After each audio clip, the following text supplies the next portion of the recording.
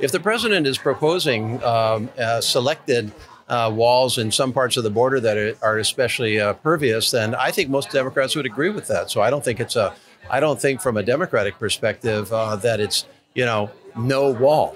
Period.